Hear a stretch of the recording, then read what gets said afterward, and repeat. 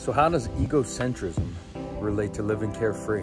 So egocentrism is our inability to untangle our subjective truth, you know, we're the center of the universe and it's our ego from the objective reality, you know, what is actually going on. This subjectivity does help us, but it does get us into trouble.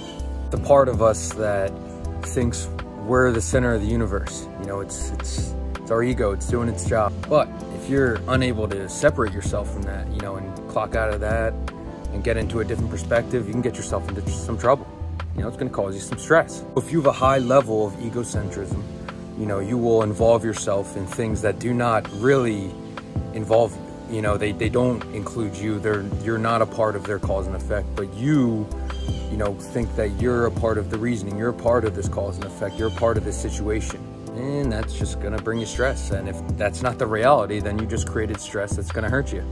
We do this a lot. So how do we, you know, improve this or combat this? Um, I always like it's it's good to watch things. Watch things go on and let go. You know, understand that something's going to happen. You don't need to tell someone. You don't need to call it.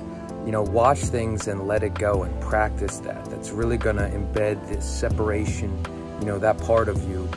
Um, and that's going to ultimately help you harmonize with things that you need to harmonize with. You'll be, you know, more attractive to people being able to kind of understand that, you know, you're not the center of the universe.